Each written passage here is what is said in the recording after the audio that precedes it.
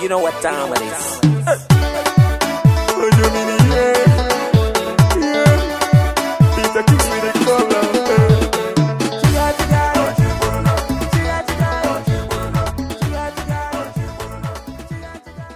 That is Sambisa Forest. We move on. The blast continued. It never stopped. Even with the girls there, we still had blasts. And day in, day out, parents were running, women were running with their children, moving from one home to the other. It continued. Even those who were in town, who thought it could be better for them, felt very bad, always gloomy about what had happened to these girls. So each time they are together somewhere, the discussion is nothing but what could be happening to their fellows in the uh, Boko Haram camp. Some who were even released couldn't find themselves the same anymore. Each time they looked at the mirror, they found themselves in chains. And then, so, here we come.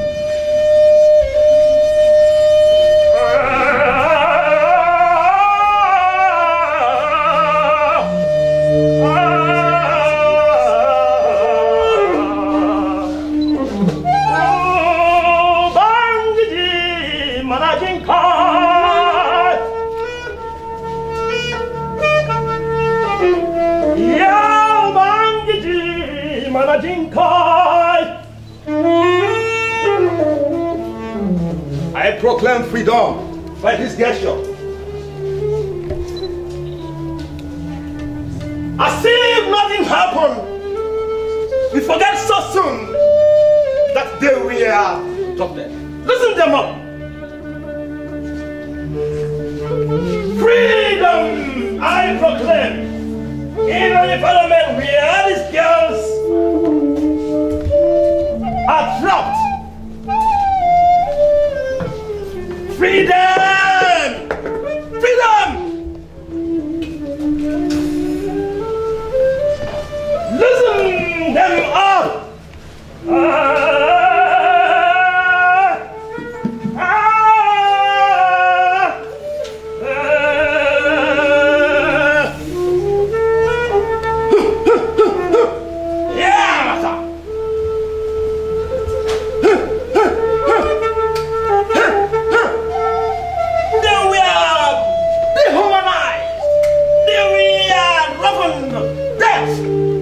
Were fashioned weak.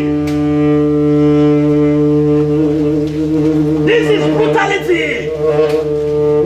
Doom passion to innocent peers who have committed no sin. Hey! Oh, hey! Oh, hey! By this I mean love, love right. Let us show these girls love. As if that wasn't enough. I mean, as if that wasn't enough. These girls, we are left. We are left, bloodshed. Allah! Ya Ubangiji, God save us from this inhumanity.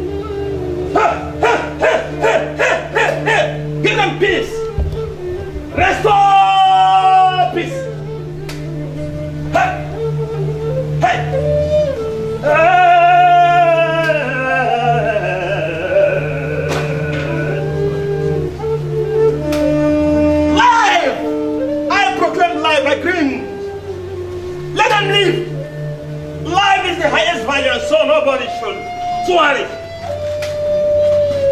Isn't this inhumanity? My people, isn't this inhumanity? Say no to abortion. I'm telling you, say no, please. No. I'm Yes. telling you, say no. Say no.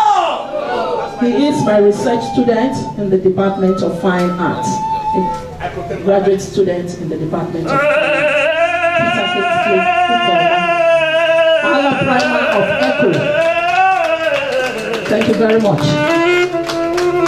The girls have been forced into marriage with members of Boko Haram. You can see the result of that. The young girl and the Boko Haram man with that baby. They would have wished it didn't happen. In October 2016, it was reported that 21 of the Chibok girls have been released. We thank God for that. And they are now dressed up. We are praying for hope for these girls. We are praying for peace in Nigeria. This is the prayer of the University of Port Harcourt. And so, prayer for Nigeria in distress continues. You can say the women, you can say Prayer for Nigeria in distress. My Vice Chancellor, sir. I think, uh, I think uh, Professor Bridget Nwanze and her team deserve a round of applause. People coming from outside realize that she's one of our finest professors. Um, we want to thank the young man who's bathed in paint. What a great artist he is. We want to thank all those who participated in this project. I, I was just I was just flabbergasted to see the kind of creativity that they can put together in such a short time. Richard Wednesday, what can we do without you? Thank you very much. Thank you very much. And thank the team. God bless you.